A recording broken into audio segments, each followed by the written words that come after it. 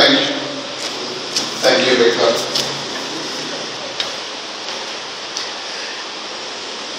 Just now, Prerna brought to my notice, she said, uh, You've preached from this before. And yeah, this is actually the third time I'm preaching from the same passage. Uh, uh, don't worry, it's a different message. A couple of weeks back, I was standing at a checkout line, contemplating the wonderful Bangalore heat, wondering why the people ahead of me were taking so long to pay, when I felt a firm but gentle touch on my left forearm. Now, I'm not one who likes being touched. I'm not given to someone touching me. But when I looked, I saw a little girl, perhaps four or five years old, and she was doing something that only a child would do, something that was so moving that even I, with my dislike of being touched, found my displeasure dissipating. She was trying to make me clean. You see, she thought that this birthmark was a bit of dirt on my forearm and was trying to rub it off and make me clean. May God bless her wherever she is. Let us pray. Gracious Father, you have brought us here by your will, by your Spirit. And we ask that you would fulfill your purpose today for us. And also, wherever that little girl is, we ask that you would bless her. And we ask this in Jesus' name. Amen. I lived in the US for 11 years. yes, 11 years. And I noticed something during those years. Eh, inevitably, just before Christmas or and Easter, prominent magazines, the US News and World Report, Newsweek, Time, would run articles proposing some new theory about Jesus. But all these supposedly new theories or discoveries are like that uh, two minute treats that we all love to hate. You know what I'm talking about. Maggi, yes? For a few months they were taken off the shelves. Now they're back with a bang. Some slight modifications in the packaging, and there we are, stuffing our bellies with lead once again. Inside is pretty much the same. We've tasted it, no, no change, the lead tastes the same. But the outside, slight changes in the packaging, and now Nestle can say, hey, new and improved. I'm pretty sure nothing has changed. But anyway, all these supposedly new theories about Jesus, if you study them further, you can determine that they are pretty much identical in content to previously proposed theories. New packaging, maybe some new terminology, new people associated with them, quotes from new people, you know, not quoted before, but pretty much the same content. In fact, most of these old theories that are newly spun are variations on a single theme. Jesus was only human, he probably got married and had children, maybe wandered around the world, probably came to India, some of them. Yeah? And the church has suppressed all of this for 20 centuries. If you think this carries a whiff of Dan Brown, you are right. The guy made millions borrowing from older ideas. We should be so lucky. The Apostle John ends this gospel with the words Jesus did many other things as well. If every one of them were written down, I suppose even the whole world would not have room for the books that could be written. In other words, John, as an eyewitness to Jesus' life, knew of many, many other things, but he chose to write down some of them and exclude others.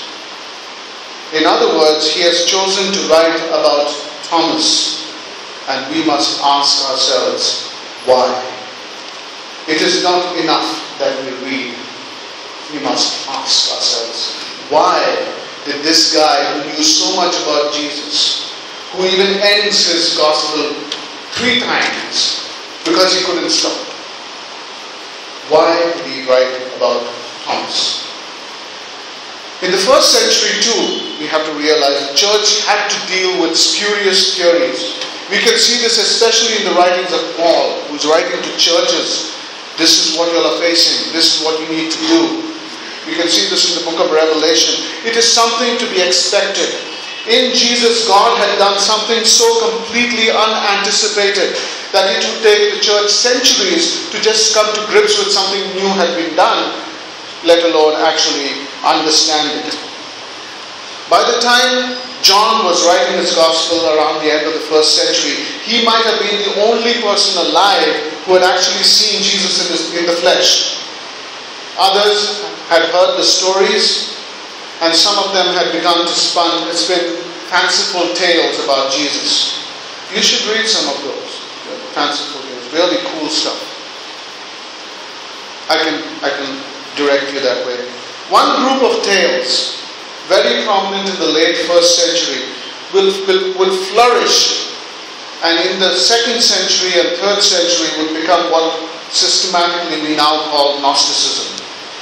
One of the key Gnostic books is what is known today as the Gospel of Thomas. You have probably heard about this book. Just a couple of years ago, it was in the news as though it was something recently discovered. It is not recently discovered. Fragments of it have been known to exist since the 5th or 6th century, and the whole copy was found in 1945. It is nothing new. If you hear the Gospel of Thomas new, tear that bit of paper up and say, these guys are pulling, trying to pull a fast one. But anyway, probably brought together in its final form in the late second century, the teachings contained in this book would have been floating around in the decades before, probably when John was writing his gospel. The teachings in the Gospel of Thomas are attributed to Thomas. Clear from the title, right?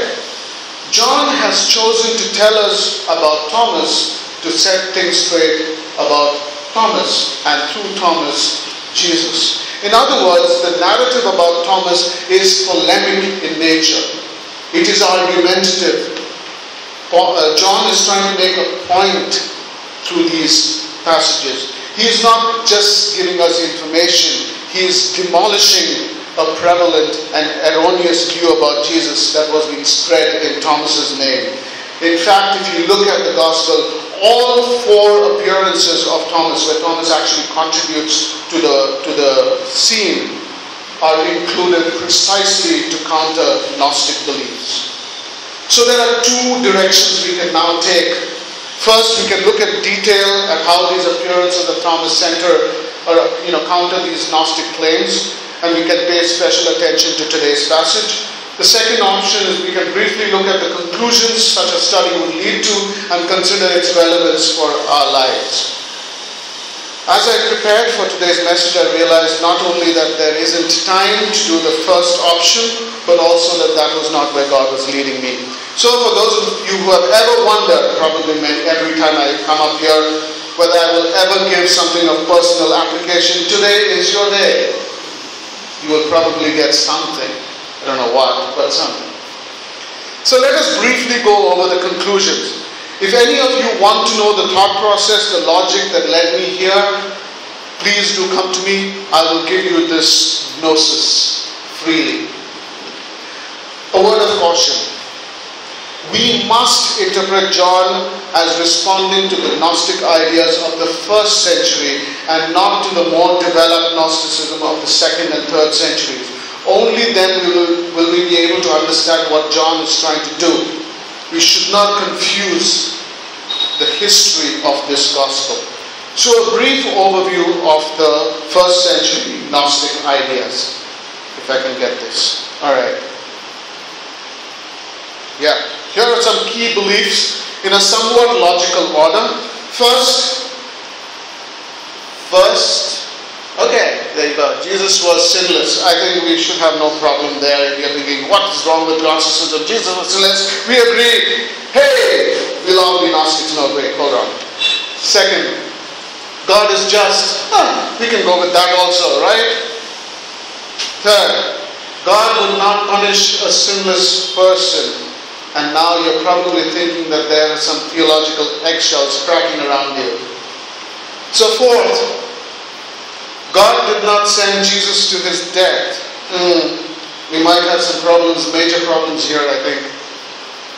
Uh, fifth, to pacify the Jews and the Romans, God made it appear as if Jesus was on the cross even though he wasn't. And you're thinking, uh, wait a minute, what next? Can, can you say that again? Yeah, that's it. Yeah, only appeared to be on the cross. But we're not done.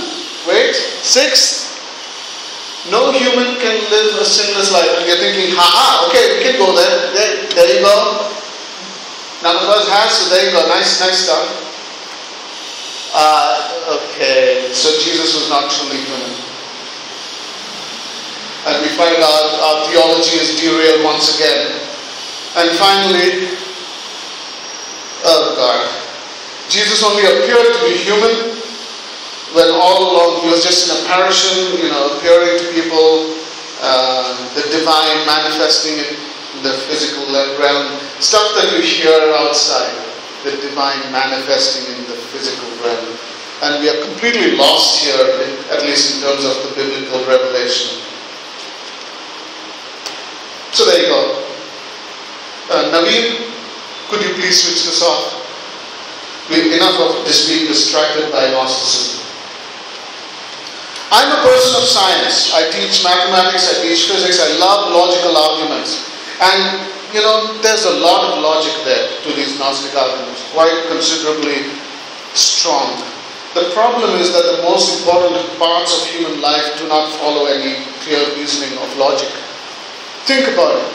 I love my wife, I love my parents, I love my children, love my sister. I love them all in different ways.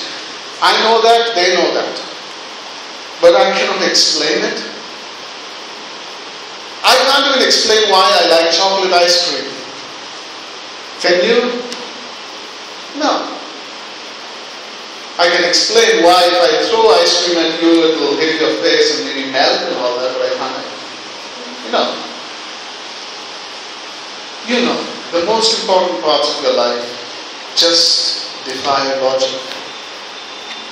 Systems of faith devised by humans are almost always reasonably logically sound. Let me repeat.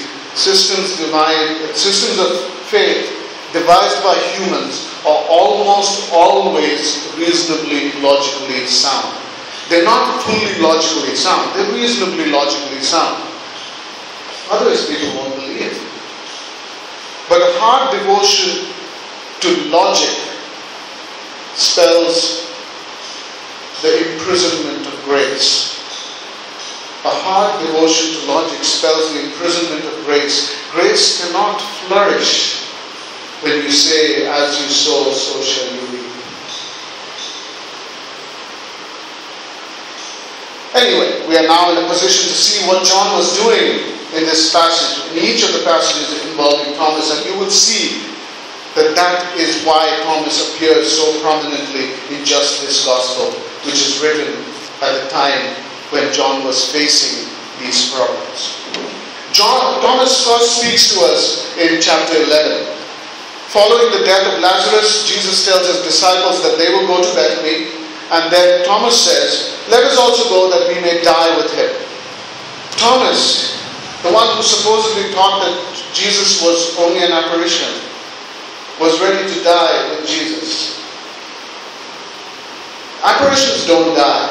I don't know about you, but no, apparitions don't die. So what Thomas was thinking was just Jesus was able to die. He was not an apparition, but a human. The next time Thomas speaks is in chapter 14. Jesus tells his disciples that they know the way to where he is going, and Thomas says, Lord, we don't know where you are going. How do we know the way? Thomas, the one who had this secret knowledge, the gnosis needed for salvation, is clueless about where Jesus was going. Any special knowledge that Jesus gives after this is not private knowledge, it is public knowledge because Jesus is speaking in the open. Thomas did not have any special knowledge that supposedly is contained in that gospel according to Thomas. The third time Thomas speaks is today's passage. He was not present when Jesus first appeared to his disciples and he demands proof. What proof did he demand? That Jesus would walk through walls? That Jesus would speak to all of them? That's what an apparition would be able to do. An apparition would be able to just appear out of nowhere. It's an apparition. An apparition would be able to talk then, because I guess apparitions could do that. But he doesn't ask for that. What he asks for is to see the nail marks on Jesus' hands, put his finger where the nails were, and put his hand at Jesus' side. He's asking for absolutely incontrovertible proof that Jesus was physical, not some apparition that might have fooled the others. This Thomas, who supposedly spread the message that Jesus was an apparition, that Jesus never died, was asking for proof precisely that Jesus had been on the cross and had died. The last time Thomas appears in the Gospel is by the Sea of Galilee. There he is a witness. He sees Jesus cooking breakfast. I don't know about you, apparitions holding cooking utensils doesn't seem to be quite okay. Jesus cooks breakfast and shares it with them and eats with them, and Thomas, supposedly believing that Jesus was an apparition, shares breakfast with an apparition. Doesn't make sense. All four passages in which Thomas appears are characterized by one thing physicality. Physicality. And this makes sense of John's prologue. The whole point of his prologue captured in that one phrase the Word became flesh. Physicality is a major theme in the Gospel according to John. In other Gospels, Jesus just says, and the person is able to see. In the Gospel of John, he has to mix the mud and place the mud there and ask the guy to go and wash himself. All of that is there in the Gospel of John. The physicality of the Gospel of John cannot be lost on us. And in every passage that Thomas appears, it is physical in nature. So, what does that have to do with us today? Unfortunately, contemporary Christianity has become world denying. We believe that the world is evil. We hear it. Many popular Christian leaders teach us that this world is anyway headed for destruction. We are anyway headed up to heaven. Let this world go to hell. Who needs to care for it? We are told that faith is a private matter, that it does not need to show up in the public sphere. It's between God and the believer, and that Christianity is concerned with the spiritual rather than the material. We read books and hear messages. We hear the words worldly, carnal, flesh, all used in negative ways. And we develop an aversion to things in this world things that are material, things that have to do with our physicality. The popular singer Jim Reeves sang a song, This World Is Not My Home. Popular song, and we bought into that world denying you. Another singer, Randy Newman, wrote a song, Heaven is My Home. And the Lutheran hymnal and other hymnals includes I am but a stranger here all promoting the idea that we are fish out of water placed in this world but belonging somewhere else. I don't know about you, but God has placed me here. God Himself has made this world and He has made it for us to live in. In other words, this is precisely the world we are supposed to live in. Yes, it is a broken world. No one can deny that. Yes, it is not how God meant it to be. The Bible is clear about that. And yes, there is sin and pain and death. We are living examples of all that. But that does not change it from being suited to us, nor for our being suited to it. Allow me to draw a few analogies. Please note these are just analogies. Unlike some preachers, I do not know your personal problems. What if you, as a child, as a parent, sorry, had a child with a birth defect? Do you hope for another child instead of the one that God gave you? What if you, if you're married, discover that your spouse had a terminal illness? Would you hope for another spouse instead of the one God gave you? What if you as a child had parents who could not afford the things that your friends' parents could? Would you hope for other parents instead of the one God gave you?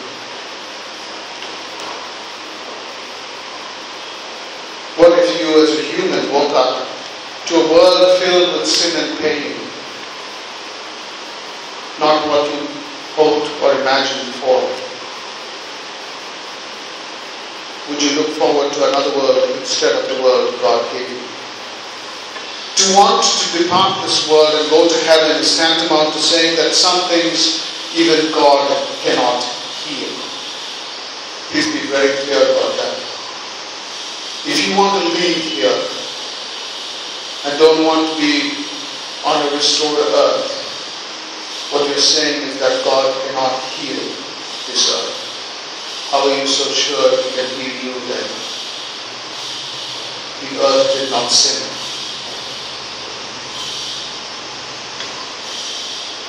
The vision of Scripture is that God will heal everything, restore everything, renew everything.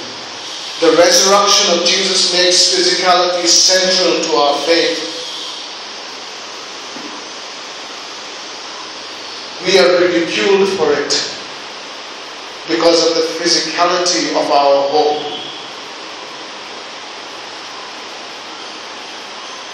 Thomas's desire to see and touch Jesus' wound makes it clear that Jesus will always bear the scars of our redemption, and we sometimes sing about it also. But if Jesus will always bear the scars, then physicality of our redemption is also something we need to take a grip of. It must mean something today. And it does.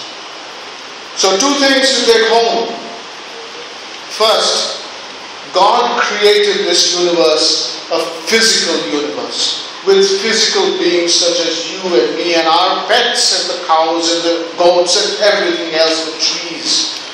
A physical world. And He said at the beginning that it was good. And so this world, despite the pain and suffering around us, is good. And God created these physical beings to offer Him physical worship. We sang about it also. Every breath that I take, apparitions and spirits do not take place. Physical. And so we must care for and love this creation that God cares for and loves. The numerous species of plants, animals that populate our world are dear to God, and we must exercise our stewardship of the planet just as God would, with the goal of redemption, not destruction. Second, if God made us physical beings to offer physical worship, then every task that we undertake with our bodies carries the possibility of being sacred. Our work becomes a part of our worship. From waking a loved one in the morning to even negotiating a contract. From comforting a friend to completing a report. From sharing in someone's joy to sitting with them in their sorrow. Every little thing becomes an arena for worship. And so I would like to think that little girl too was worshiping or trying to clean my forearm. This is the great truth of the crucifixion, the incarnation, the resurrection, that by assuming every aspect of human life, especially the physical, Jesus has redeemed and restored everything, especially the physical. The question is, dare we believe this? Dare we begin to worship Him? Amen.